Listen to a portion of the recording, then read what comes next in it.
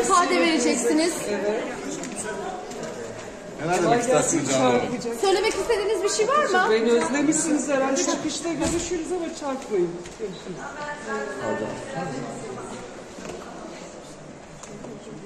İstediğiniz bir şey var mı? Beni özlemişsiniz herhalde. Çıkışta görüşürüz ama çarpmayın. Görüşürüz.